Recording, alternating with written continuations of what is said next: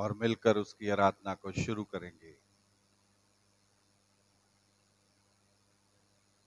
हे धर्मियों, यहोवा के कारण जय जयकार करो, क्योंकि धर्मी लोगों को स्तुति करना शोभा देता है। वीणा बजा बजा कर यहोवा का धन्यवाद करो। दस तार वाली सरंगी बजाकर उसका भजन गाओ। उसके लिए नया गीत गाओ। जय जयकार के साथ भली भांति बजाओ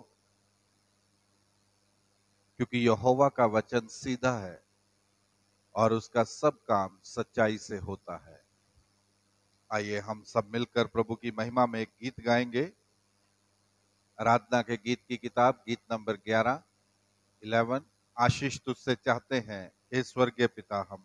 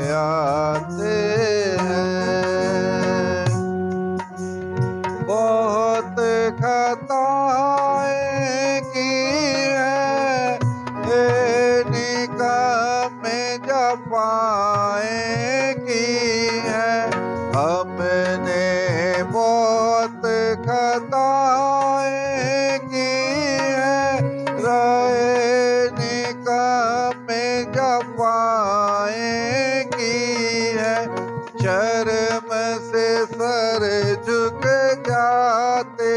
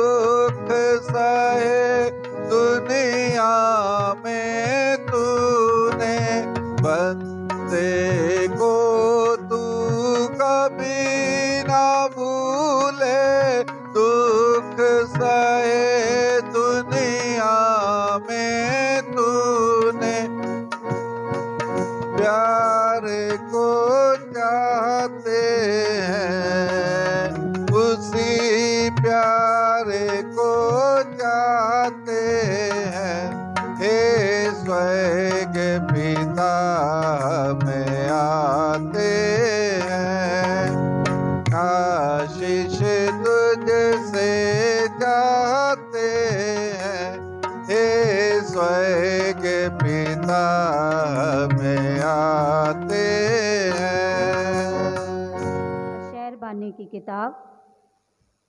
पेज नंबर चार, हिस्सा नंबर तीन। हमारे खुदावन यीशु मसीह का फजल, खुदा की मोहब्बत और रूहुल कुदूस की शराकत आप सबके साथ होती रहे। हिस्सा नंबर चार और पाँच हम सभी मिलकर बोलेंगे ए तमाम कुदरत के खुदा, तेरे आगे सबके दिल का हाल खुला है। तुझे सब सबकी मुरादें मालूम हैं और तुझसे कोई भेद छिपा नहीं।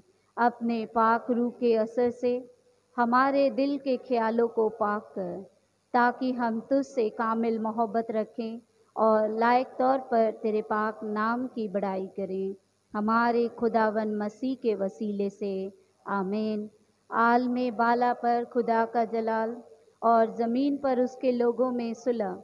खुदावन खुदा आसमानी बादशाह, तमाम कुदरत के खुदा बाप हम तेरी परस्तिश करते, तेरा शुक्र करते और तेरे जलाल के लिए तेरी हमद करते हैं। ऐ यीशु मसीह, बाप के इकलौते बेटे, ऐ खुदावन खुदा खुदा के बर्रे, तू जहान का गुनाह उठा ले जाता है। हम पर रहम कर, तू बाप के दाहिने बैठा है, हमारी दुआ कबूल कर। क्योंकि यह यीशु मसीह तू ही कुदूस है, खुदावंद है, तू ही पाक रू के साथ खुदा बाप के जलाल में आला है। आमीन। मेहरबानी से बैठिए। आइए हम अपने सरों को परमेश्वर की हजूरी में झुकाएँगे और दुआ में जाएँगे। हाले लुया हाले लुया हालेलुया हालेलुया। प्रभु यीशु, आपके महान नाम को हम धन्यवाद देते हैं। धन्यवाद हो धन्यवाद हो धन्यवाद हो पिता परमेश्वर कि आपने पिता, ये दिन हम सबके जीवन में दिया पिता परमेश्वर कि हफ़्ता के पहले दिन प्रभु जी आपके हजूरी में हम आए और आपकी स्तुति, आपकी आराधना हो सके हम सबके जीवन के द्वारा। प्रभु जी, आपने हर एक को तंदुरुस्ती दी, सलामती दी, अपनी बरकतों से भरा प्रभु। और प्रभु यीशु, ये मौका दिया कि आपके भवन में, आपके हजूरी में आए प्रभु। और पिता हरेक के जीवन के द्वारा प्रभु जी आपकी महिमा और आपकी प्रशंसा हो। खुदावन यीशु, प्रार्थना करते हैं। प्रभु आपके जितने भी अज़ीज़ आपके हजूरी में आकर बैठे हैं प्रभु। हर एक को आप कबूल करो पिता परमेश्वर। हर एक के मनों की चिंताओं, तकलीफ़ों, परेशानियों को दूर कर कर प्रभु, जब आपके हजूरी में ये आए हैं पिता, अपनी आनंद और अपनी कृपा और अपनी दया से इन्हें बहुत आयत से भर दो। खुदावन यीशु, जो चल कर प्रभु आपके भवन की ओर आ रहे हैं। पिता, आप हर एक जन को प्रभु अपनी हजूरी में लेकर आना मेरे महान परमेश्वर पिता। खास करके प्रार्थना करते कलीसिया के हर एक परिवार के लिए प्रभु जी। प्रभु, जो यहाँ हैं, जो विदेश में हैं पिता, हर एक को पिता परमेश्वर आपके सामर्थ्य हाथों में रखते हैं। हमारे संडे स्कूल के बच्चे यूथ और पिता परमेश्वर वुमेन फेलोशिप और कलीसिया और पिता परमेश्वर, जितने भी जन हैं पिता होने दो पिता परमेश्वर, की जब पूरे आस और पूरे उम्मीद के साथ जब आपके हजूरी में आते हैं और अपने अपने मनों को खोल कर पिता परमेश्वर, जब अपने ज़रूरतों को, अपने प्रार्थनाओं को, अपनी पीड़ाओं को पिता, जब आपके हजूरी में रखते हैं पिता परमेश्वर, क्योंकि आप हम सभी से बहुत प्रेम करते हो प्रभु जी और आप कभी नहीं चाहते कि हम आपके हजूरी से दूर रहें आप कभी नहीं चाहते खुदावन यीशु, कि हम पिता परमेश्वर तकलीफ़ में रहे। आप हमेशा हमारी प्रार्थनाओं को सुनते हो। तो प्रार्थना करते हैं प्रभु, कि जितने भी जन आपके हजूरी में आए हैं, हर एक की प्रार्थना का उत्तर देना, कि जब ये यहाँ से जाएँ प्रभु, अपने अपनी प्रार्थनाओं का उत्तर पाए, उनकी झोलियाँ आपके आशीषों से, आपकी बरकतों से भरी हो और आपके नाम को जलाल देते जाएँ। प्रभु, जो भी गीतों और भजनों को गाए उसके द्वारा आपकी महिमा और आपकी प्रशंसा हो और जो भी वचन पढ़ा जाए, सुना जाए, उन सब पर आपकी आशीष और बरकत हो। धन्यवाद पिता परमेश्वर, आपने हमारी प्रार्थना को सुन लिया है। प्रभु यीशु मसीह के नाम से मांगते हैं। आमीन।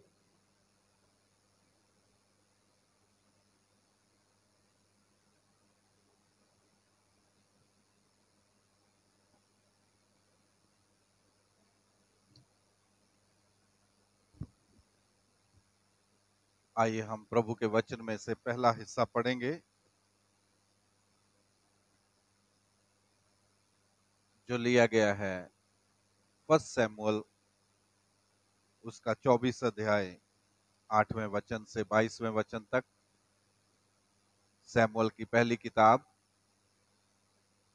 उसका चौबीस अध्याय, आठवें वचन से बाईसवें वचन तक। आइए हम परमेश्वर के वचन में से पढ़ेंगे। उसके बाद दाऊद भी उठकर गुफा से निकला और शाउल को पीछे से पुकार कर बोला, हे मेरे प्रभु, हे राजा, जब शाउल ने पीछे मुड़कर देखा, तब दाऊद ने भूमि की ओर सिर झुकाकर धंधवट की और दाऊद ने शाउल से कहा, जो मनुष्य कहते हैं कि दाऊद तेरी हानि चाहते हैं, उनकी तू क्यों सुनता है? देख आज तूने अपनी आँखों से देखा है कि यहोवा ने आज गुफा में तुझे मेरे हाथ सौंप दिया था, और किसी किसी ने तो मुझसे तुझे मार डालने को कहा था। परंतु मुझे तुझ पर तरस आया, और मैंने कहा, मैं अपने प्रभु पर हाथ ना उठाऊँगा, क्योंकि यह यहोवा का अभिषिक्त है। फिर हे मेरे पिता देख अपने बागे की छोर में, मेरे हाथ में देख। मैंने तेरे बागे की छोर तो काट ली, परंतु तुझे घात ना किया। इससे निश्चय करके जान ले कि मेरे मन में कोई बुराई या अपराध का सोच नहीं है। मैंने तेरे विरुद्ध कोई अपराध नहीं किया, परंतु तू मेरा प्राण लेने को मानो, उसका आहेर करता रहता है। यहोवा मेरा और तेरा न्याय करे और यहोवा तुझसे मेरा बदला ले, परंतु मेरा हाथ तुझ पर ना उठेगा।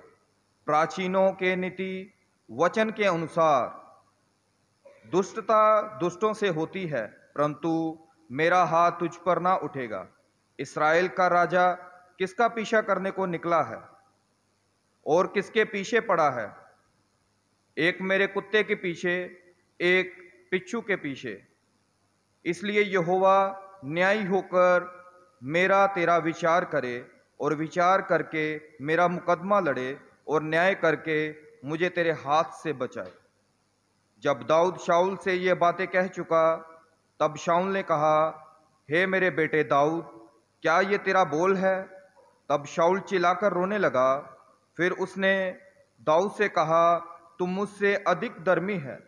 तूने तो मेरे साथ भलाई की है, परंतु मैंने तेरे साथ बुराई की, और तूने आज ये प्रगट किया है कि तूने मेरे साथ भलाई की है कि जब यहोवा ने मुझे तेरे हाथ में कर दिया, तब तूने मुझे घात ना किया। भला, क्या कोई मनुष्य अपने शत्रु को पाक, पाकर कुशल से जाने देता है? इसलिए जो तूने आज मेरे साथ किया है इसका अच्छा बदला यहोवा तुझे दे। और अब मुझे मालूम हु, हुआ है कि तू निश्चय राजा हो जाएगा और इसराइल का राज्य तेरे हाथ में स्थिर होगा। अब मुझ अब मुझसे यहोवा की शपथ खा कि मैं तेरे वंश को तेरे बाद नष्ट ना करूँगा और तेरे पिता के घराने में से तेरा नाम मिटा ना डालूँगा। तब दाऊल ने शाउल से ऐसी ही शपथ खाई तब शाउल अपने घर चला गया और दाऊद अपने जनों समेत गड्ढों में चला गया। ये परमेश्वर का पवित्र वचन है। पढ़े और सुने, जाने पे आशीष हो। आमीन। वहाँ में अपने सरों को झुकाएँगे और हमारे बीच में मिस्टर अशोक जी हैं, उनके साथ मिलकर दुआ करें।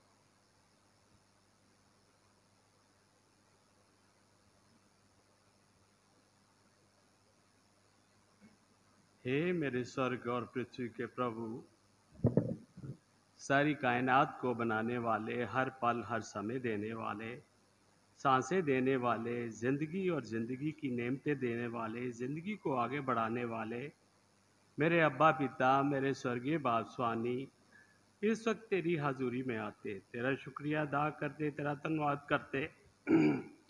आज के अच्छे थे सुहाने दिन के लिए, तेरे पाक ते पवित्र दिन के लिए तू इसे पाक ते पवित्र रखना। और जहाँ जहाँ तेरे पाक पवित्र दिन की पूरे संसार में, हमारे देश में जिन जिन स्टेटों पर तेरे भवन, तेरे रैवर, तेरे सेवक दास, दासियाँ पाई जाती उन उन स्टेटों से आज की तेरी वर्ष पे हो रही पवित्र दिन की, और उन उन स्टेटों से वो लीड करते हैं। हर तरह से प्रभु जी उनको अपनी आशीषों से, बरकतों से भर दे और इसी तरह वो चैरिटी एनजीओ चलाते हैं। सीबीएन द्वारा इंटरनेशनल लेवल पर काम करती। भूखे को रोटी प्यासे को पानी अंधे को आँखें देते हैं। और एनी anyway, कोई भी प्रॉब्लम हो उन्हें सॉल्व करते हैं। और भी जो चैरिटी तेरी मिनिस्ट्री को चलाते हैं चैनलों द्वारा और टीवियों में रेडियो में यूट्यूब के माध्यम से तेरी मिनिस्ट्री को चलाते हैं, लीड करते हैं, उनके हर एक कार्यकर्ता के साथ हर तरह की उनकी रहनमाई करना, मदद करना और आज का पाक ते पवित्र दिन तू इसे पाक ते पवित्र रखना। खास करके आज हम सी नई चर्च में हैं। प्रभु जी तेरा शुक्र करते हैं कि आज के जो भी तेरा वचन हो, तेरी ओर से हो और तेरे सेवकों को, दासी को तेरे हाथों में सौंपते हैं। ये जो भी आज तेरा वचन दे, हमारे दिलो दिमाग में, हृदय में काम करने वाला हो, और उसी के अनुसार हम चलने वाले बने, और आई हुई कलीसिया इनके साथ हो, और जो रास्ते में आ रहे हैं प्रभु जी, उनके भी साथ होना, जो किसी वजह से नहीं आ सके, उनके भी साथ होना, और कई जो लचार बीमार तेरे लोग पड़े हुए हैं जिनको हम जानते, उनके लिए प्रार्थना करते, जिन्हें हम नहीं भी जानते, उनके लिए प्रार्थना करते। हर तरह की उनकी रहनमाई करना, अपनी तंदुरुस्ती देना, चाहे हॉस्पिटलों में हो, चाहे घरों में हो। हर तरह की रहनमाई करना, बच्चे, नन्हे, बुज़ुर्ग, जवान और हर एक को तेरे हवाले करते हैं। और आज की इबादत को भी तेरे हाथों में सौंपते प्यारे खुदावन यीशु मसीह के नाम से मांगते सुन और कबूल कर। आमीन। पाकरू यीशु के करीब ले जा तू।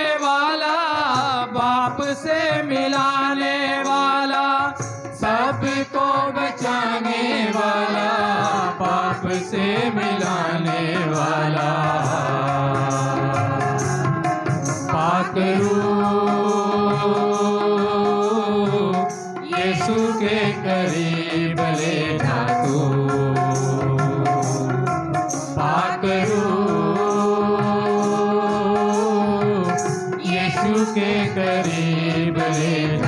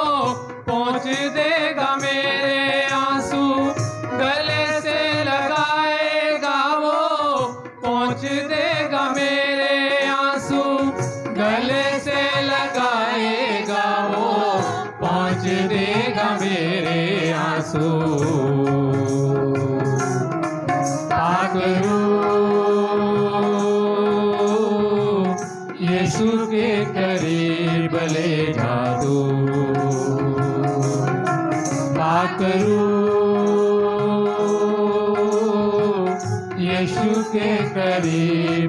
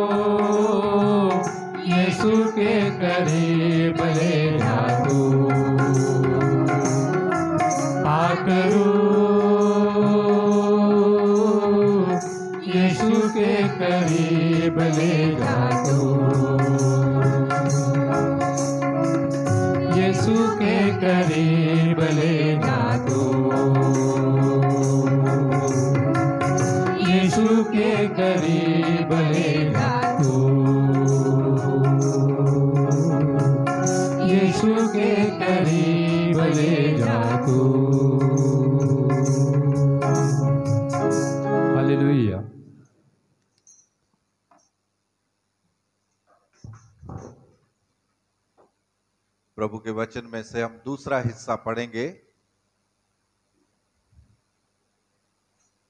जो लिया गया है रोमियो की पत्री में से। रोमियो की पत्री, उसका बारहवा अध्याय।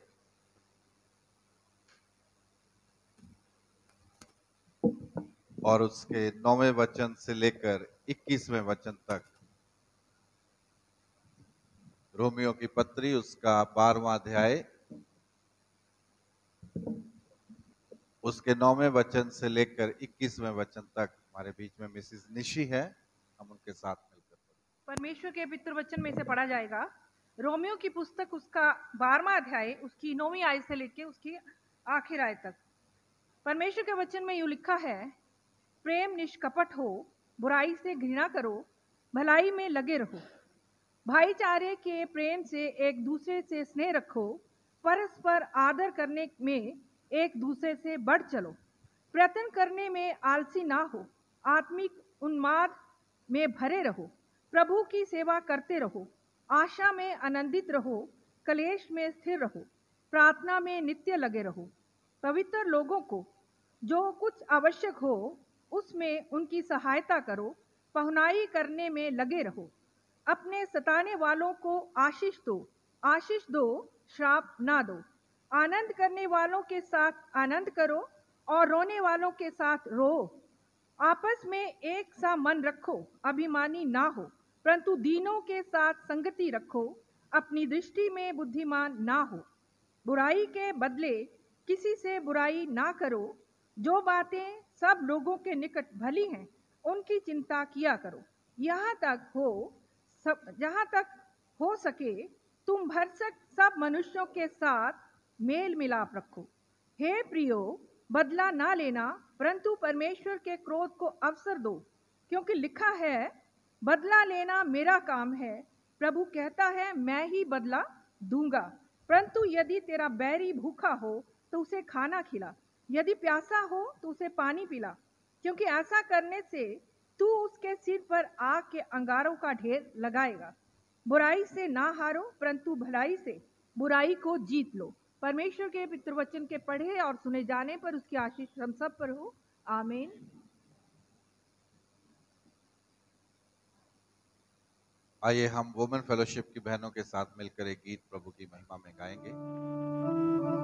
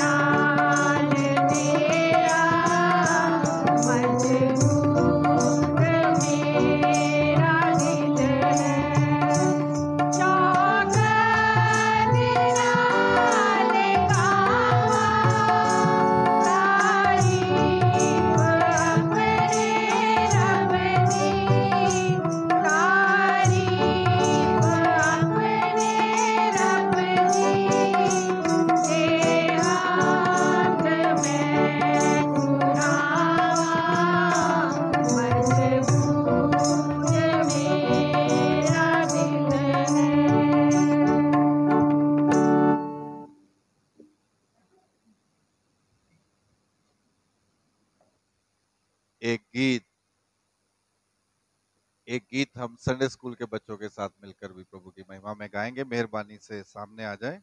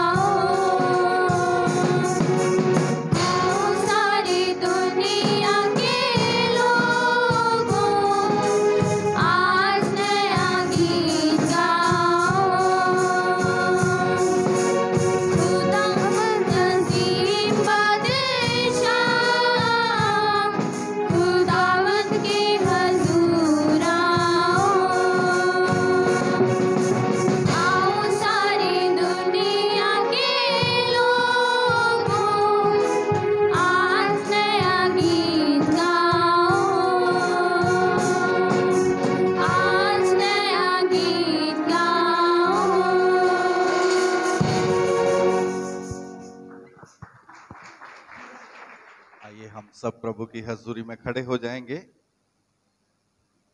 और रसूलों का अकीदा हम सब मिलकर कहेंगे। पेज नंबर आठ, हिस्सा नंबर चौदह का दूसरा हिस्सा।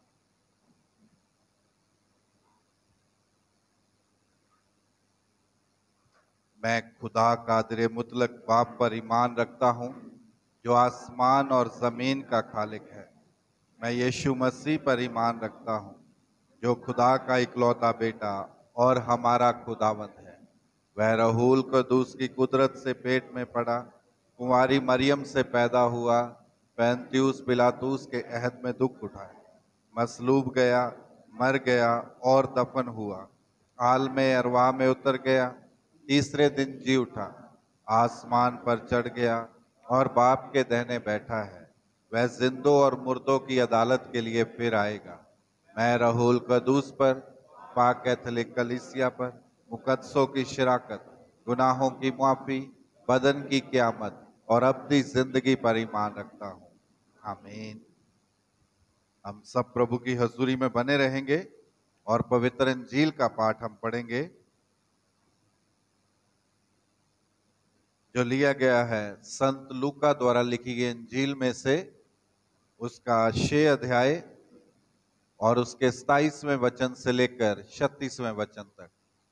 The gospel written by saint Luke chapter six verse twenty seven to thirty six और हमारे बीच में पादरी साहब है, उनके साथ मिलकर प्रभु का वचन।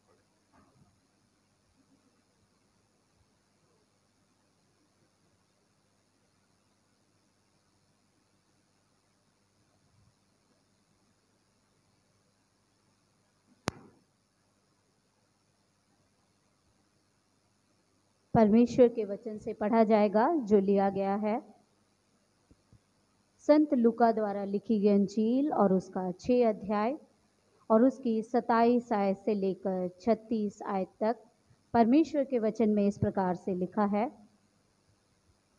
परंतु मैं तुम सुनने वालों से कहता हूँ कि अपने शत्रुओं से प्रेम रखो, जो तुमसे बैर करें, उनका भला करो। जो तुम्हें श्राप दे, उनको आशीष दो। जो तुम्हारा अपमान करे, उनके लिए प्रार्थना करो। जो तेरे एक गाल पर थप्पड़ मारे, उसकी ओर दूसरा भी फेर दो। और जो तेरी दुहारी छीन ले, उसको कुर्ता लेने से भी ना रोको। जो कोई तुझसे मांगे, उसे दे। और जो तेरी वस्तु छीन ले, उससे ना मांग। जैसा तुम चाहते हो कि लोग तुम्हारे साथ करें, तुम भी उनके साथ वैसा ही करो। यदि तुम अपने प्रेम रखने वालों के साथ प्रेम रखो तो तुम्हारी क्या बढ़ाई क्योंकि पापी भी अपने प्रेम रखने वालों के साथ प्रेम रखते हैं। यदि तुम अपने भलाई करने वालों ही के साथ भलाई करते हो तो तुम्हारी क्या बढ़ाई क्योंकि पापी भी ऐसा ही करते हैं। यदि तुम उन्हें उधार दो, जिनसे पाने, फिर पाने की आशा रखते हो तो तुम्हारी क्या बढ़ाई क्योंकि पापी, पापियों को उधार देते हैं कि उतना ही फिर पाएँ। वरन अपने शत्रुओं से प्रेम रखो और भलाई करो, और फिर पाने की आशा ना रख कर ना रख कर उधार दो। और तुम्हारे लिए बड़ा फल होगा और तुम परम प्रधान के संतान ठहरोगे।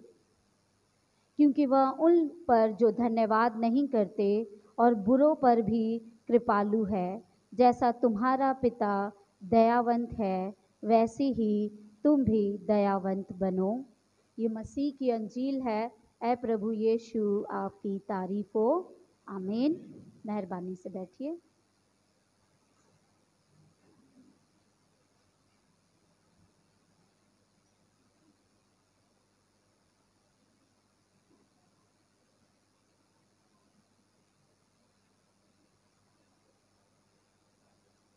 आइए हम अपने सरों को प्रभु की हजूरी में झुकाएँ और दुआ में शरीक होंगे।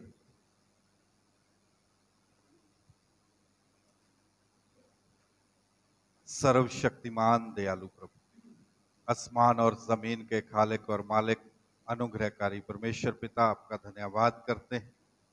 शुक्र करते प्रभु जी आज के समय के लिए जो आपने हमारी ज़िंदगी में दिया कि हम सब मिलकर आपके नाम को महिमा और तारीफ़ देते हुए इस सप्ताह के पहले दिन आपकी हजूरी में एकत्रित हो सके, आपका शुक्र करते हैं कि आपने अपना अनुग्रह, अपनी कृपा, अपनी दया, अपनी करुणा हम पर बनाए रखी और इस लायक ठहराया कि प्रभु जी, हम आपकी हजूरी में इकट्ठे होकर आपका धन्यवाद कर सके। आपका शुक्र करते हैं प्रभु जी कि आपने बीते वक्त में अपने सब अजीजों को संभाला, अपनी दया में दृढ़ किया अपनी करुणा और दया का मुकुट इनके सिर पर बनाए रखा कि मिलकर आपके नाम को महिमा और तारीफ़ देते जाए। आपका शुक्र करते हैं प्रभु शुक्र करते हैं पिता परमेश्वर, आए हुए अजीजों के लिए। इनकी जिंदगियों को मुबारक ठहराइए प्रभु। जो अपने दुनियावी कामों काजों को भुलाकर आपकी हजूरी में पहुँचे हैं पिता जगह ब जगह, जहाँ कहीं भी, आज आपके नाम से कलीसियाँ एकत्रित हो रही हैं। प्रभु, उन सबको ग्रहण फरमाई और अपनी पाक हजूरी सबके ऊपर बनाए रखना। एक एक जन पर अपनी कृपा और दया करना प्रभु जी। अपनी महिमा में बढ़ाकर खड़ा करना और पिता परमेश्वर, हर जन आपके घर से आपकी सामर्थ की भरपूरी के साथ जाए। पिता परमेश्वर, प्रार्थना करते हैं। प्रभु जी, उन सब के साथ हुई जो बसों गाड़ियों में सफ़र करें, उनके सफ़र को मुबारक कीजिए। जो इस समय बीमार, लाचार कमज़ोर, परेशान हॉस्पिटलों में, घरों में पड़े हैं पिता परमेश्वर। उन सब के साथ हुई। एक एक जन को प्रभु जी अपने पवित्र हाथों से शुकर चंगाई और तंदुरुस्ती बख्शी। हर घर में सलामती बख्शी। हर परिवार में चंगाई बख्शी। और अपने धन्यवाद में बढ़ाकर खड़ा करे। खासतौर पर प्रार्थना करते हैं मिसिस विक्टोरिया विल्सन के लिए प्रभु जी। उन्हें अपने पवित्र हाथों से शुकर चंगाई बख्शी।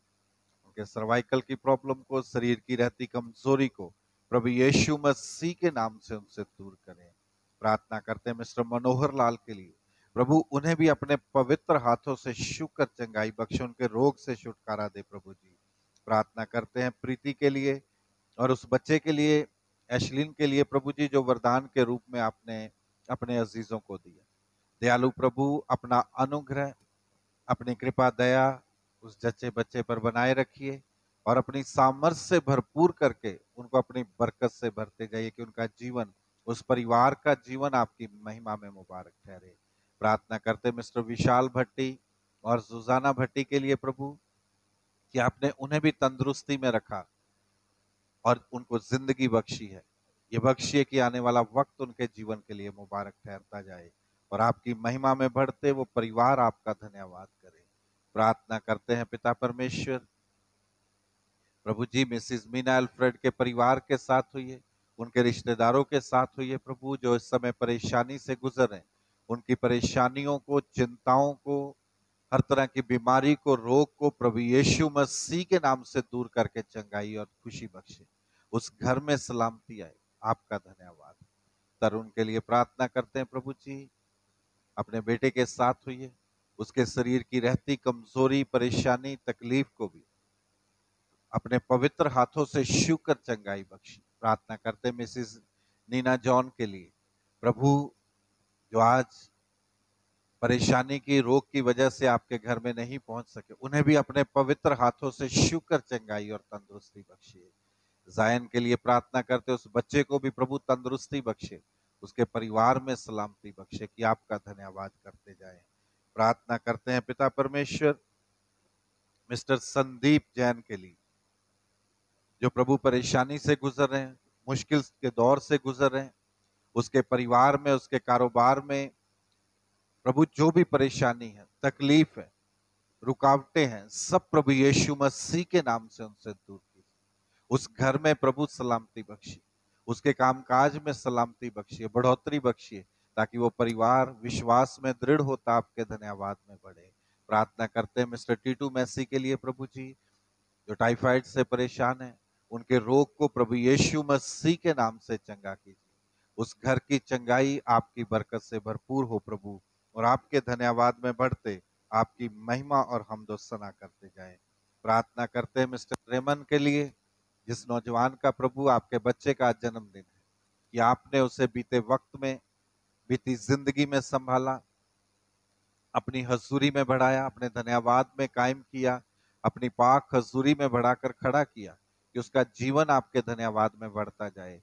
और ये बख्शिए कि वो बेटा सेहत तंदुरुस्ती में, अकल, समझ और बुद्धि में आपके और मनुष्यों के अनुग्रह में बढ़ता जाए। उसका जीवन आपकी हजूरी में मुबारक ठहरे। आपकी रूह के वसीले से बढ़ते, उसकी ज़िंदगी आपकी हजूरी में मुबारक ठहरे। पिता परमेश्वर अपनी पाक हजूरी उस नौजवान के साथ बनाए रखना। प्रार्थना करते मिस्टर रोशन के लिए और प्रभु जी, बेटी नूर के लिए, जिनका बीते दिनों में जन्मदिन था और उन सब के लिए जिनके नाम हमें नहीं पहुँचे। एक एक को प्रभु नए साल में बढ़ोतरी, खुशी और आनंद की भरपूरी बख्शिए और जिनकी मैरिज एनिवर्सरी है प्रभु जी, उन्हें भी अपनी बरकत से भरपूर कीजिए ताकि वो खुशियाँ जो आपने अपने अजीजों को दी है आपकी बरकत से भरपूर होती जाए। प्रार्थना करते हैं, प्रभु जी, हमारे स्कूलों के साथ होइए। इंस्टीट्यूट्स के साथ होइए, पिता परमेश्वर। उनके हेड्स के साथ होइए।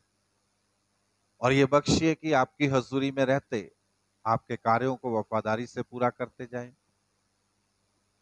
और प्रभु, वो आगे बढ़े, तरक्की और उन्नति करते हुए स्कूल, इंस्टीट्यूट्स, हॉस्पिटल्स, आपकी महिमा में कायम। प्रार्थना करते हैं डॉक्टर, हेल्पर, स्टाफ्स के लिए प्रभु जी, पुलिस प्रशासन के लिए और पिता परमेश्वर, आर्मी के लिए अलग अलग सेवादारों के लिए प्रभु जो अलग अलग रीति से अपनी सेवाओं को अपने लोगों के लिए देते हैं, पिता परमेश्वर, उन सब की सेवाओं को कबूल कीजिए और उन्हें वफादारी बख्शिए, सच्चाई बख्शिए ताकि आपकी हजूरी में रह सके। प्रार्थना करते हैं पिता परमेश्वर हमारे सूबे के लिए, पंजाब के लिए मुख्यमंत्री और उनकी टीम के लिए, और पिता परमेश्वर हमारे सेंटर सरकार के लिए, हमारे देश के लिए, कि प्रभु जी, जो सेवाएँ आपने उन्हें दी है, वफादारी से, सच्चाई से उसको करते हुए, हमारे देश को, हमारे सूबों को तरक, तरक्की और उन्नति की तरफ़ लेकर जाने वाले हो सके। प्रार्थना करते हमारे पठानकोट शहर के लिए, प्रभु जी।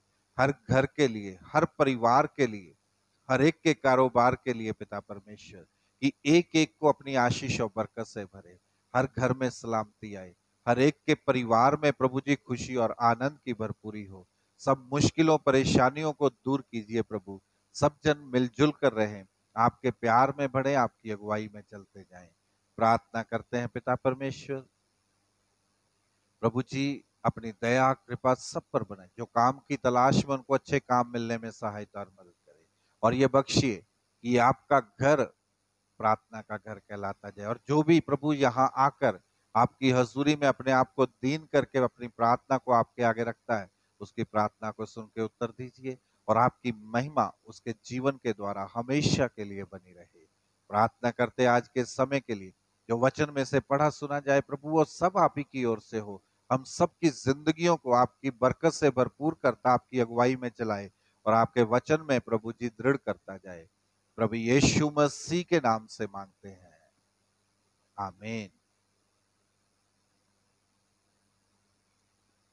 आइए हम यूथ के साथ मिलकर प्रभु की महिमा में गीत गाएँगे।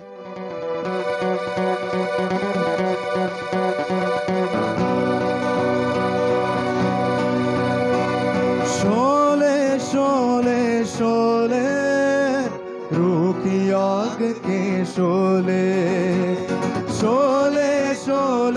शोले रूह की आग के शोले।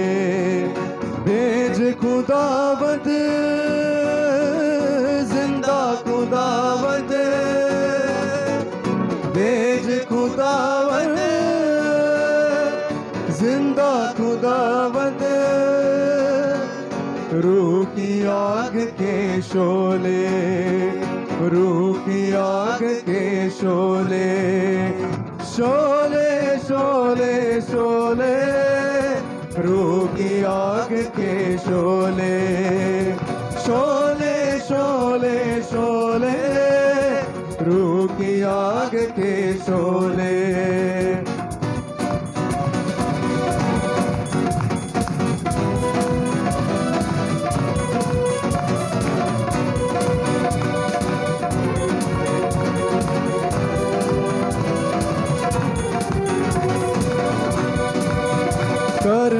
असमत गुस्सा और बदी सब बदकारी और मैं कशी कर बसमत गुस्सा और बदी सब बदकारी और मैं कशी पर अपनी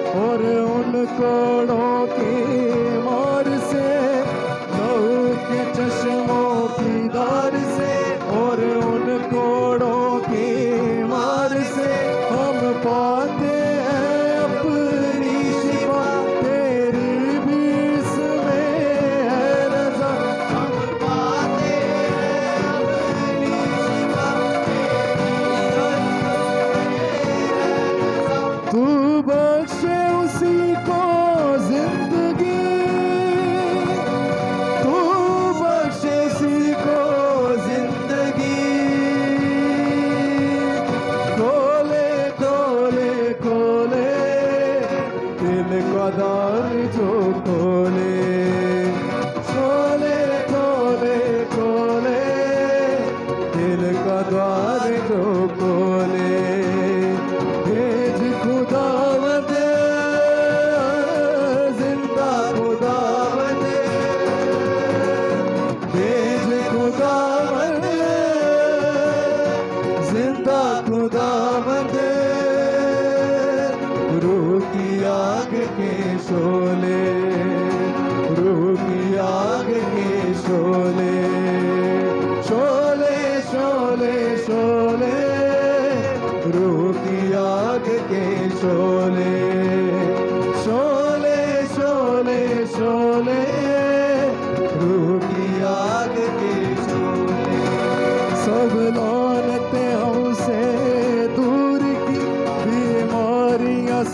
का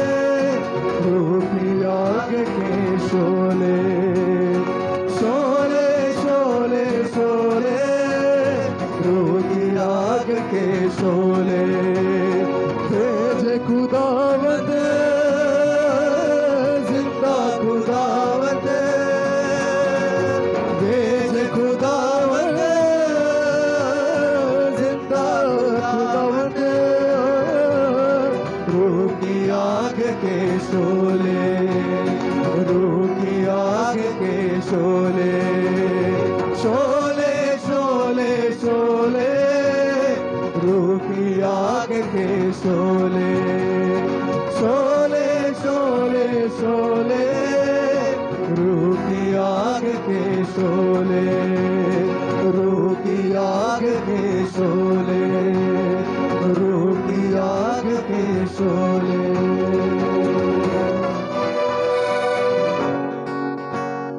hallelujah hallelujah. Hallelujah hallelujah hallelujah hallelujah. प्रभु आप सबको बहुत आशीष और बरकत दे। आज का वचन जो पवित्र शास्त्र में से हमने पढ़ा है, बताता है कि हम बुराई को सिर्फ़ अच्छाई से ही जीत सकते हैं। Evil can only be overcome with good. प्रभु का वचन हमें बताता है कि हम बुराई को बुराई के साथ जीत नहीं सकते हमारा जो जीवन, हमारी जो ज़िंदगी और रोज़ाना की ज़िंदगी, हमें बहुत कुछ दिखाती है। अच्छाइयाँ भी दिखाती है और बुराइयाँ भी दिखाती है। और वो हमारे ऊपर डिपेंड करता है कि हमें किसको लेकर आगे बढ़ना है। हमें अच्छाई को साथ लेकर चलना है या फिर बुराई को साथ लेकर चलना है।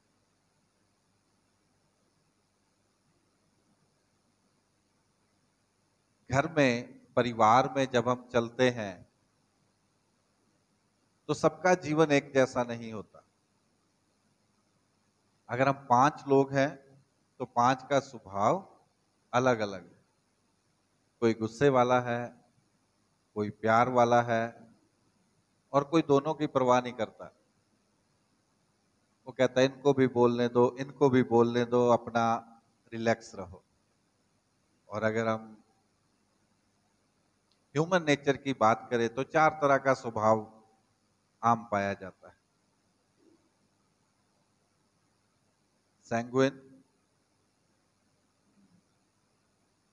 मेलनकोली फ्लैगमेटिक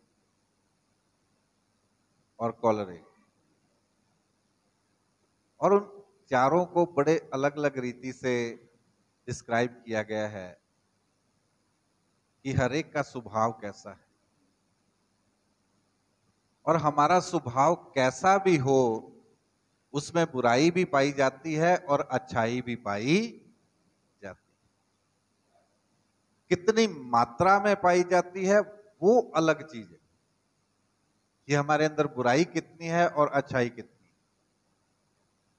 क्वांटिटी उसकी कितनी है, अच्छाई की या बुराई की, वो अलग चीज़ है, लेकिन पाई सब में जाती है। लेकिन खुदा का वचन हमें कहता है कि हमें बुराई को अच्छाई के साथ ही जीतना है। हम बहुत कुछ करना चाहते हैं। बहुत आगे बढ़ना चाहते हैं। लेकिन उसके लिए सबसे पहले हमें बुराई का सामना करना पड़ता है। मैं किसी से मिला, वो मुझे बताते कहते कि पादरी साहब, अगर आप अच्छे काम करोगे तो आप आगे बढ़ नहीं सकते। आप एक अच्छे बिजनेसमैन नहीं बन सकते। अगर आप अच्छे काम करोगे, अगर आपको बिज़नेस में ऊपर जाना है, अगर आपको तरक्की करनी है, उन्नति करनी है तो आपको आगे बढ़ना पड़ेगा। तो मैंने उससे पूछा कि आपको ये बातें किसने कही? कहता, मैं किसी के पास गया, मेरे काम में रुकावट आ रही थी। तो उसने मुझे बोला कि अगर आप बैठ के दुआ करोगे और नेकी के साथ चलोगे तो आप कभी भी बिज़नेस में आगे बढ़ नहीं सकते। मैंने कहा, वो बढ़ाना तो खुदा का काम है। इंसान का काम नहीं। बढ़ाना खुदा का काम है। लेकिन अगर हम अब बुराई को अपने ऊपर हावी होने देंगे तो हम अच्छाई में कैसे बढ़ पाए और सबसे पहले हमें उन बातों पर ध्यान देना पड़ेगा कि बुराई है क्या। क्योंकि सबसे बड़ी बात जो हमारे जीवन में पाई जाती है हम कहते हम तो अच्छे हैं, सामने वाला बुरा है। हमारे अंदर कोई बुराई है ही नहीं। हम इतने नेक दिल इंसान हैं कि हमारे जैसा अच्छा इंसान खुदा ने कोई बनाया ही नहीं। हम अगर किसी का बुरा भी करते तो भी हम कहते लेकिन हम फिर भी अच्छे अगर हम किसी की निंदा, चुगली, बुरी चालें, बुरे विचार रखते तो हम फिर भी कहते कि हमने कभी बुरा नहीं किया, हम बुरा नहीं करते, हम अच्छे लोग हैं। वो जो फिलॉसफी है, वो हमारी है कि हम किस तरह से बुराई को और अच्छाई को देखते हैं। लेकिन वचन क्या कहता है? वो कौन कौन सी बुराइयों की बात करता है? प्रभु के वचन को हमने पढ़ा रोमियो की पत्री बारवा अध्याय, उसके नौवें वचन से लिखता है, कहता प्रेम निष्कपटो, बुराई से घृणा करो। भलाई में लगे रहो, भाईचारे के प्रेम से एक दूसरे से स्नेह रखो, परस्पर आदर करने में एक दूसरे से बढ़ चलो। प्रयत्न करने में आलसी ना हो, आत्मिक उन्माद से भरे रहो, प्रभु की सेवा करते रहो, आशा में आनंदित रहो, कलेश में स्थिर रहो, प्रार्थना में नित्य लगे रहो। और इनको जब ऑपोजिट देखते हैं तो हम कहाँ पे पाए जाते हैं? प्रेम का विरोधी क्या आता है? बुराई, गुस्सा करना, भलाई का बुरा करना। किन किन चीज़ों में परमेश्वर हमें स्थिर रहने के लिए कहता है और किन किन चीज़ों से हमें बचने के लिए कहता है? अगर हम आगे पढ़े तो वो कहता है, कहता बुराई के बदले किसी से बुराई ना करो। जो बातें सब लोगों के निकट भली हैं, उनकी चिंता किया करो। और बुराई सिर्फ़ एक प्रकार की नहीं है अलग अलग प्रकार की है। हम कहते हैं, मैंने कौन सा किसी का खून कर दिया? मैंने कौन सा किसी को गोली मार दी? मैंने कौन सा किसी को शुरा मार दिया कि मैं बुरा हूँ? एक इंसान रोड पे जा रहा था तो उसने एक पिक पॉकेट वाले को देखा, जो पॉकेट मारते उसको रोड पे लड़का मिला, वो किसी की पॉकेट मारने लगा था। तो जब उसने उसको मिला तो उसने उससे पूछा, कहता कि ये गलत काम है, तुम्हें ये नहीं करना चाहिए। उसने उस लड़के को पकड़ा, समझाया, कब से कर रहे हो? वो कहता है, बस बचपन से यही काम संभाला है। एक्सपर्ट हो गया हूँ अभी। आपने पता नहीं कैसे पकड़ लिया। तो कहता, बेटा, ये बुरी बात है। तुम्हें अच्छे काम करने चाहिए। इतनी बुराई लेकर तुम आगे बढ़ नहीं सकते। कहता, मैं बहुत अच्छा हूँ। कहता, अंकल जी, क्या कहें? हर इंसान में कोई ना कोई बुराई होती है। हो सकता है मेरी ये बुराई आपको बड़ी लगती हो। जो आप करते हो सकता है वो आपको समझ ही ना आती हो। कोई बात नहीं, मैं इससे फिरूँगा, मैं इसको छोड़ने की कोशिश करूँगा। वो लड़का बोल के चला गया। उसने उसका पर्स जिसका छीना था या मारा था, उसको वापस कर दिया। लेकिन जिस इंसान ने उसे बोला था, वो बैठा रहा, सोचता रहा। क्योंकि वो पहले ही किसी का मर्डर करके वापस अपने घर को जा रहा था। जो हम बुराई करते हैं, वो बुराई नहीं है। लेकिन जो सामने वाला करता है वो बुराई। हम दूसरों को सजेस्ट करते हैं कि ये काम नहीं करना चाहिए, लेकिन हम खुद के जीवन को उन बुराइयों में फंसाकर, परेशानियों में बढ़ते जाते मैं एक बात हमेशा कहता हूँ कि जो कोई भी काम कोई करता है, वो अपने घर में खुश रहता है। वो बुरा करे या अच्छा करे। हम उनकी बातों को सोच सोच कर अपने घरों में परेशानियाँ डाल लेते हैं।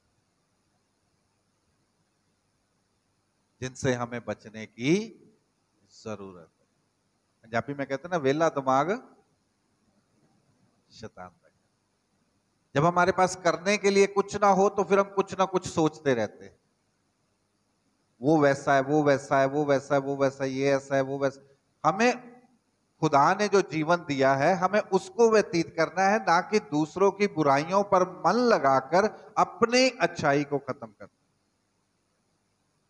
खुदा ने अच्छा इंसान बनाया है, नेकी से भरा, और बरकत से भरपूर करके हमें जीवन दिया, परिवार दिया, खुशियाँ दिया, आनंद दिया है, जिसमें हमें अपने जीवन को लेकर आगे बढ़ते जाना चाहिए। दाऊद कहता है, कहता कि शाउल को मुझे तुझे मारने का साफ़ मौका था। और वो एक बार नहीं, कई बार उसको मिला। ये देख तेरे कपड़े की शोर। यहाँ तक कि कहता, मेरे साथियों ने भी बोला, अपने दुश्मन, हाथ आए दुश्मन को कभी भी छोड़ते नहीं है। काम खत्म कर दे, कह रहा इसका। लेकिन कहता, मैं फिर कहता हूँ कि वो परमेश्वर का चुना हुआ, मसा किया हुआ है, मैं उस पर हाथ डाल नहीं सकता। कहता, मेरी भलाई और उसकी बुराई का बदला कौन लेगा? परमेश्वर लेगा। हाले लोया हाले लोया हम परमेश्वर पर भरोसा रखते हैं। दुआ करते हैं। कहते, प्रभु, तू महान है। तू सब कुछ कर सकता है। और आगे बढ़ते। लेकिन अगर घर में लड़ाई हो जाए तो क्या करते? डंडे जल्दी से उठा भाई बहन रिश्तेदारियों में हम एक दूसरे का सिर फोड़ने तक जाते हैं, मारने तक जाते एक दूसरे को। क्यों? क्योंकि उसने बुरा किया। और वही अगर बाहर कहीं हुई हो तो फिर हम क्या कहते हैं? इसको प्रभु पे छोड़ दो। इसको प्रभु देखेगा। उसके लिए दुआ कर दो बस। प्रभु बदला लेगा। क्यों? घर पे भी तो ले सकता है। तब प्रभु की याद क्यों नहीं आती है? तब हमारे अंदर का इंसान खत्म क्यों हो जाता है? हमारे अंदर की अच्छाई क्यों खत्म हो जाती है? और बहुत बार हम कहते हैं, तू जानता नहीं मुझे। मैं क्या चीज़ था? या थी? मैंने ये ये ये, काम किए। अभी मैंने मसीह को ग्रहण कर लिया इसलिए बदल गया। हमने हथियार चलाने छोड़े हैं भूले नहीं। पेट डायलॉग है हमारा आम। तो फ़र्क क्या रह गया?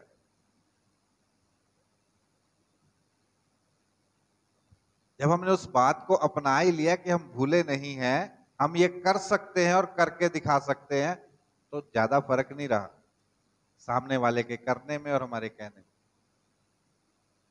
क्योंकि प्रभु का वचन कहता, तुमने सोच लिया तो समझ लो, तूने कर दिया। तूने सोच लिया तो समझ ले कर हमारा विश्वास, हमारी निष्ठा प्रभु में संपूर्ण रीति से बनी हुई नहीं है। हमें उसमें संपूर्णता दिखाने की ज़रूरत है।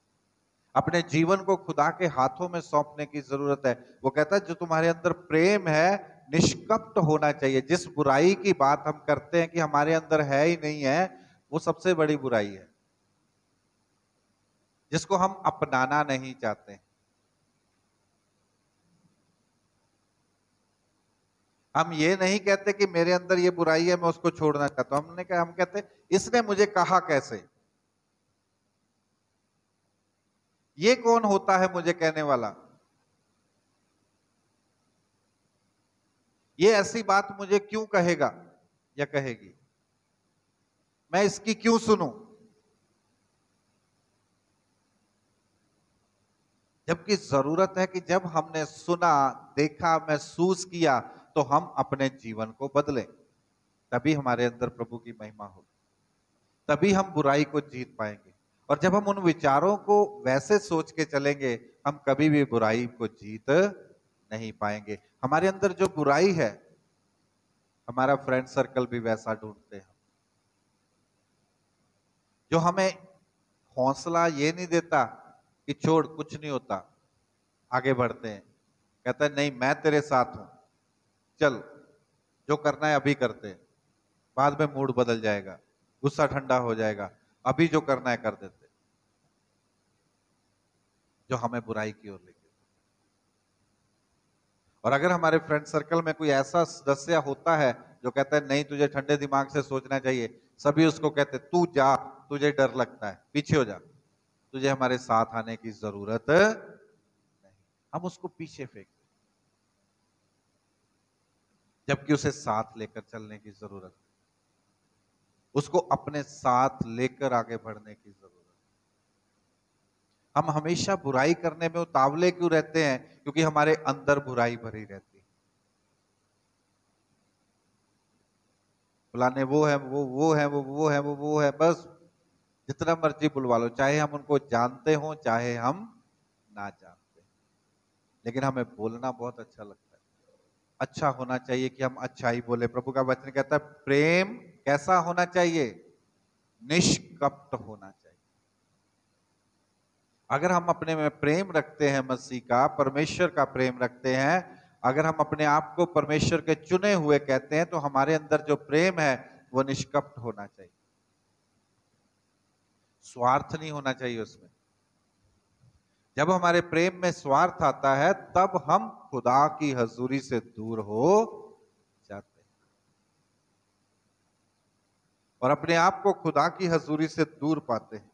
प्रभु का वचन हमने पढ़ा संत लूका द्वारा लिखी गई इंजील में। वहाँ पे क्या कहता है? कहता परंतु मैं तुम सुनने वालों से कहता हूँ कि अपने शत्रुओं से प्रेम रखो। हम तो अपनों से प्रेम नहीं रख पाते, शत्रु तो बड़ी दूर की बात है। हमारे घरों में हम कहते हैं, मैं फलाने से बात नहीं करता। मैं उससे बात नहीं करता। मैं अपने बहन भाइयों से बात नहीं करता। कितने साल हो गए, इतने साल हो गए हमने उनसे बात नहीं की। हमारा मन नहीं करता। और एक बहुत अच्छा डायलॉग मैंने सुना है।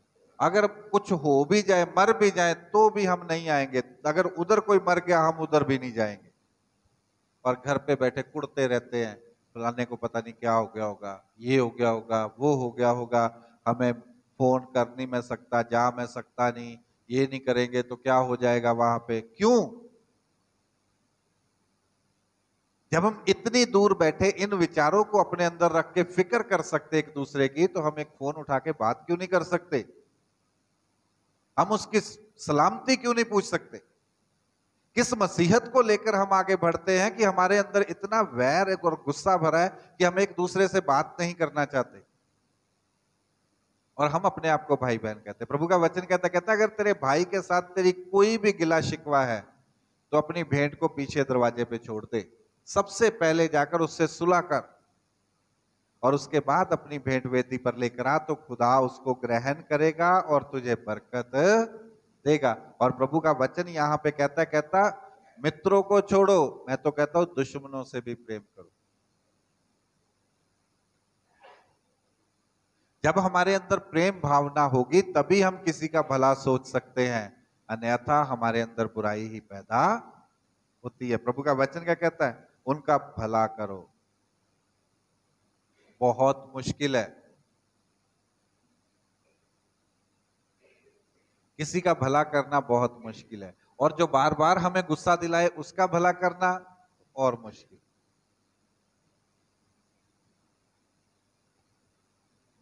ये तो किसी की सुनता नहीं, या सुनती नहीं है तो हम इनका भला क्यों करें?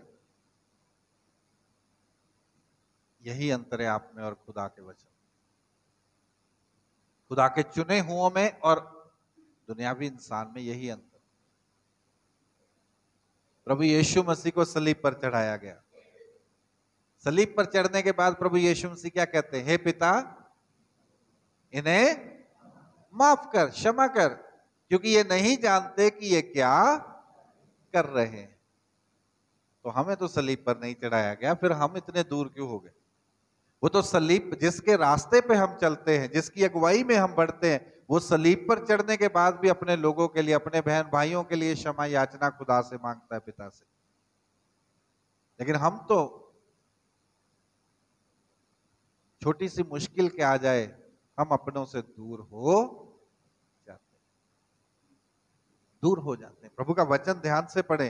वो कहता है, जो तुम्हें श्राप दे, उनको आशीष दो। बड़ी मुश्किल है। कोई आपको गाली दे और आप उसको बोले, जा रब, तेन बरकत दे बहुत मुश्किल है।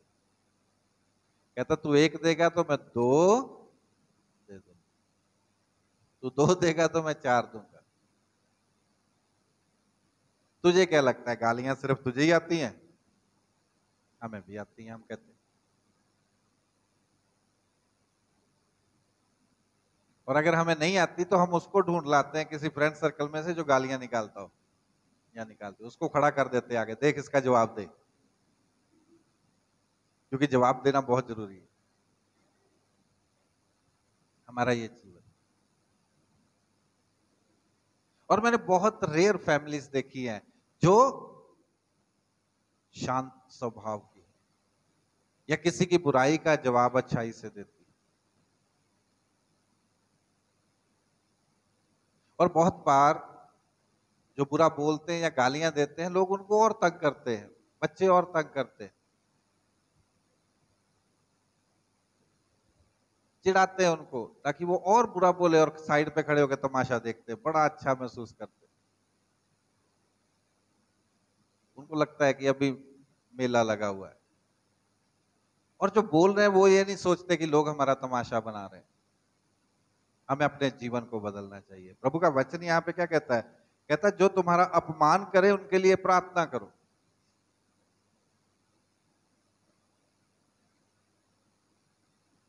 हमें इन बुराइयों से दूर रहने के लिए परमेश्वर का वचन अगुवाई करता है।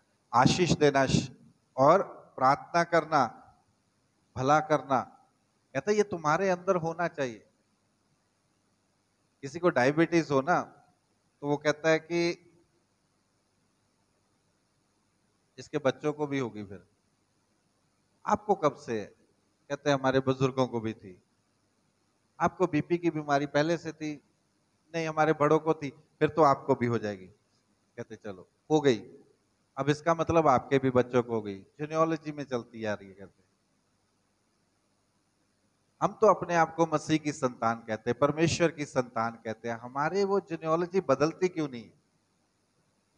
उसने तो अच्छा करना सीखा, बुरा करना त्याग दिया। फिर जब हम अपने आप को मसीह कहते हैं तो उसकी संतान कहते हैं तो फिर हमारे अंदर के जो वो लक्षण कह लो, अच्छाइयाँ कह लो, वो दिखाई क्यों नहीं देते? वो मसीह के वचन के मुताबिक भलाई करना, भला करना, आशीष देना और दुआ करना क्यों ज़ाहिर नहीं हमारे जीवन से? हमें वो ज़ाहिर करना पड़ेगा कि ये जो चीज़ें हैं हमारे अंदर बहुतायत से पाई जाती हैं। क्यों? क्योंकि हम मसीह के लोग हैं, परमेश्वर की संतान है। हालेलुया। और प्रभु का वचन क्या कहता है? कहता है, कोई एक गाल पर थप्पड़ मारे और उसकी ओर दूसरा भी फेर दे। एक कलिसिया में जाने का मौका मिला। जब मैं ट्रेनिंग में था गुजरात में तो एक कलिसिया में जाने का मौका मिला। वहाँ पे बताते चर्च, उनकी कलिसिया वाले बता रहे थे, कहते कि कुछ हफ़्ते पहले ही हमारे यहाँ पे मास्टर साहब प्रचार कर रहे थे। इसी वर्ष को लेकर कहते हैं जी, कोई एक गाल पर थप्पड़ मारे तो उसकी और दूसरा भी फेर तो अभी बाइबल सिर्फ़ कलीसिया ही नहीं, पादरी नहीं पढ़ता या पास्टर नहीं पढ़ता, कलीसिया भी पढ़ती है। और कहते कलीसिया में से भी एक जन जल्दी से खड़ा हुआ, पास्टर साहब, मैं कुछ कहना चाहता हूँ। कहते हाँ बोलो भाई। कहते, लेने से देना मुबारक है। इससे पहले कोई मारे, आप पहले ही उसको दे दो करे अच्छे से। उसको पहले ही दे दो, कहते। ये हमारा तरीका है वचन को पढ़ने का। हम कहाँ की वर्ष उठाकर कहाँ पे फिक्स कर देते हैं पता ही नहीं चलता। क्यों? क्योंकि हमें वो लाइन अच्छी लगती है। हमें अपना तरीका अच्छा लगता है अपनाने में।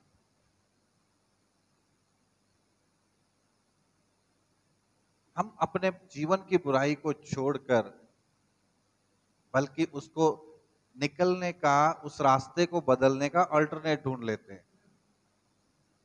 और जगाड़ लगाने में पंजाबी माहिर है। वो कोई ना कोई रास्ता निकालने में तैयार रहते। खुदा का वचन जगाड़ लगाने वाली चीज़ नहीं है। हम अपने जीवन को खुदा के हाथों में कैसे लेकर चलेंगे? किसी को देखकर खुदा हमें बरकतें नहीं देता। हमारे जीवन को नहीं बढ़ाता हमें आशीषें नहीं देता वो हमारे साथ जो रिश्ता है उसके मुताबिक हमारे जीवन में कार्य करता है। जो ज़िंदगी खुदा ने हमें दी है उसके मुताबिक वो हमें चलाता है। और प्रभु का वचन इसीलिए हमें कहता है कहता है, जो कुछ जो कोई तुमसे मांगे उसे दो और जो तुमसे और जो तेरी दोहर छीन ले उससे ना मांग। जैसा तुम चाहते हो कि लोग तुम्हारे साथ करें, तुम भी उनके साथ वैसा ही करो। हालेलुया। हालेलुया। कितनी बड़ी बात प्रभु का वचन कहता है कहता है जैसा तुम चाहते हो कि लोग तुम्हारे साथ करें, तुम भी वैसा ही करो। हम चाहते कि लोग हमारी इज़्ज़त करें, हमें प्यार करें और हम कुछ भी करते रहे।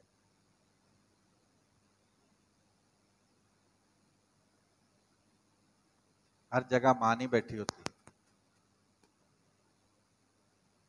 ना पिता बैठा होता।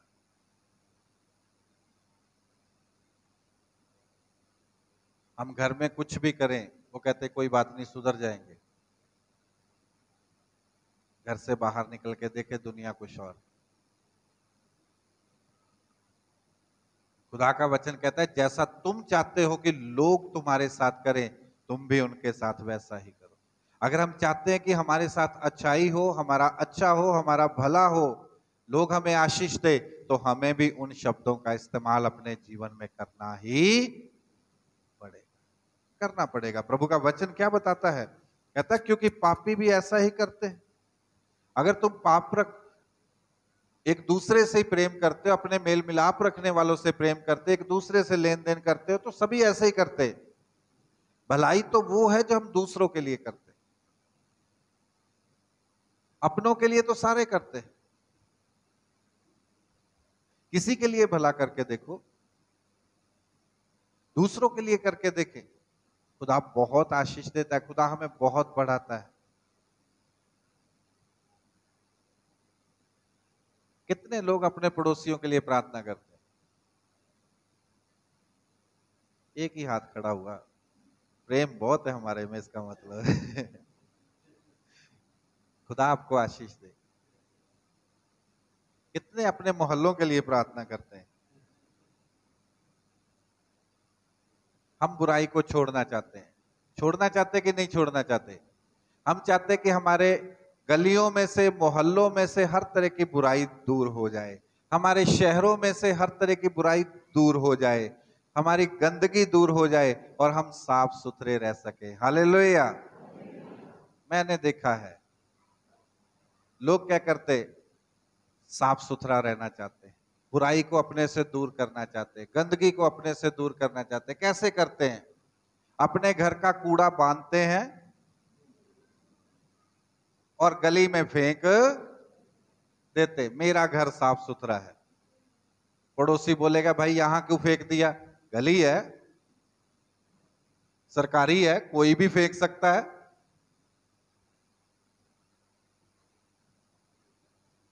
और ये रोड जो बाहर वाला है ना, आप आम देख सकते हो। रेडी वाले, दुकान वाले, काम वाले, घर वाले, वो चाहे घर पीछे भी हो गली में तो भी कूड़ा ला के रोड पे फेंक के जाएँगे।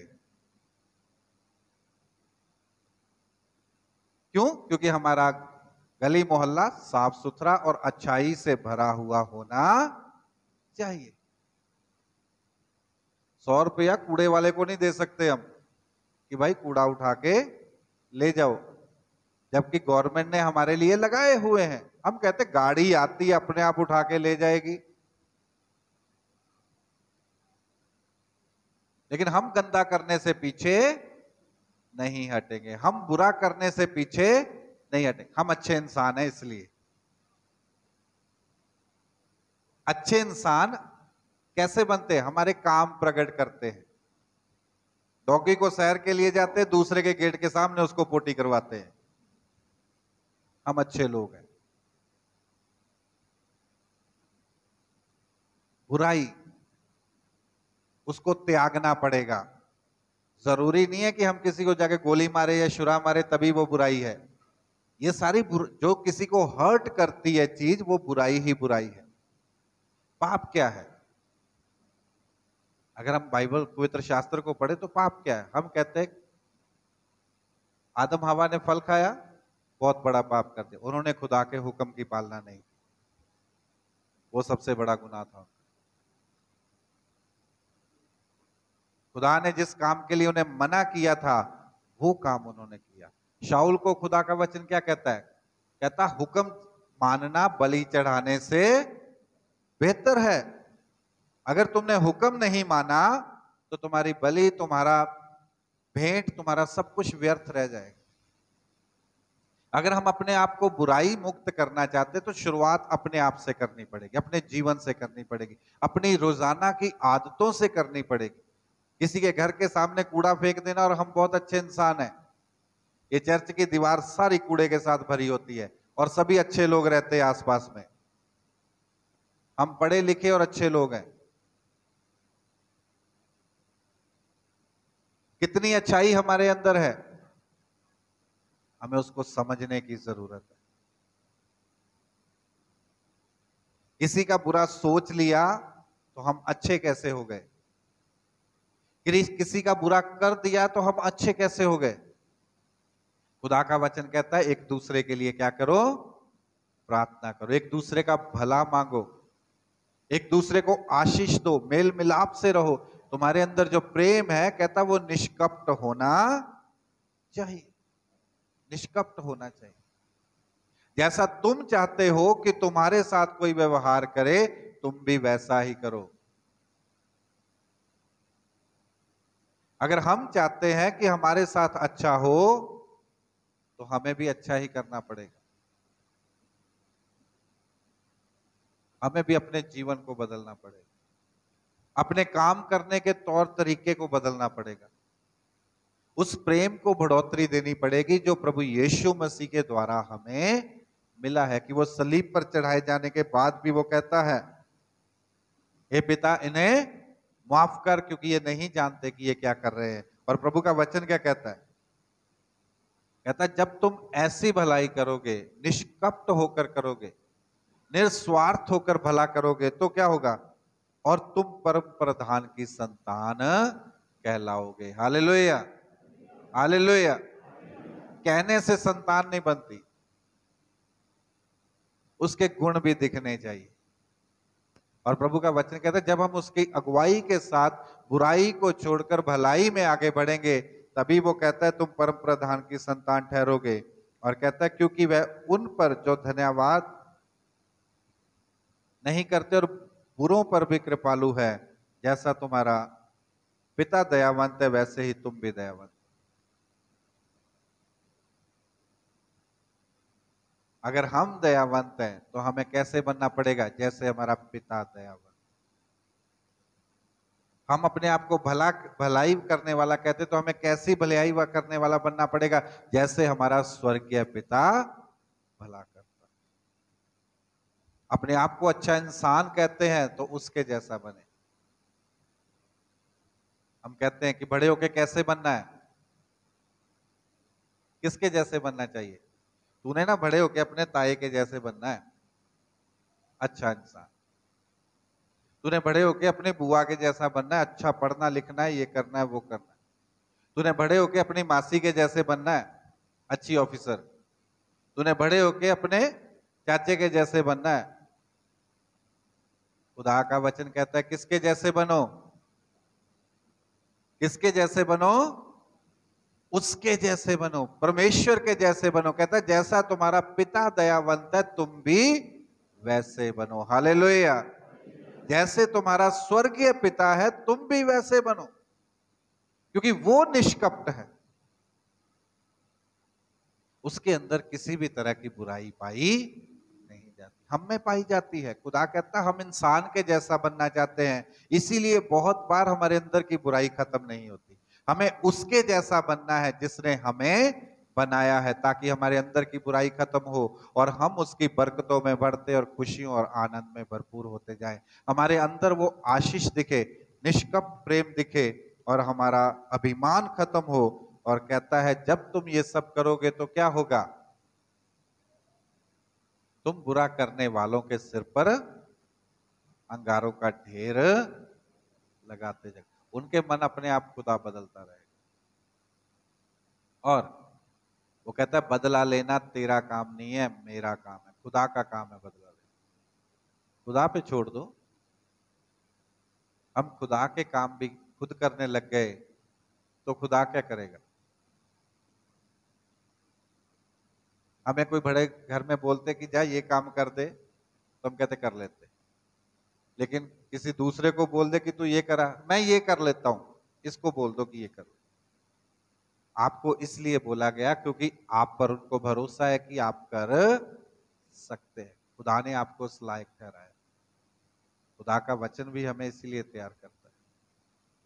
खुदा कहता है, जो काम परमेश्वर का है, वो परमेश्वर पर छोड़ दो। जो आपका है वो आप करो। आपको परमेश्वर ने कहा है कि आप बुराई को भलाई से जीतना शुरू करें। अपने जीवन को बदलें, अपने जीवन की बुराई को खत्म करें। दूसरों की अपने आप होती जाएगी और खुदा आपको बरकतों से भरता हुआ अपनी संतान कहने के लायक ठहराएगा और आपको दयावंत बनाता हुआ अपने जैसा बनाता जाएगा। प्रभु, आप सबको बहुत आशीष, बरकत। दे आमीन। आइए हम सब प्रभु की महिमा में खड़े हो जाएँगे, मिलकर जबूर गाएँगे। गीत नंबर 460 जबूर नंबर 91 या रब, तू मेरी पहना है, सो तू है मेरी जान। उसके साथ अपनी भेंटे खुदा की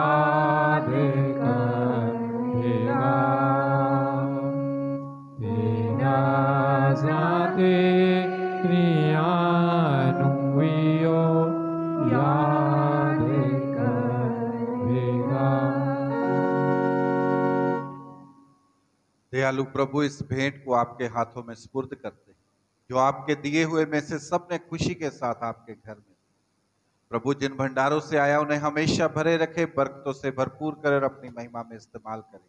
और ये बख्शिए ये भेंट आपकी सेवा में इस्तेमाल शुक्र पवित्र करे। प्रभु यीशु मसीह के नाम से मांगते हैं।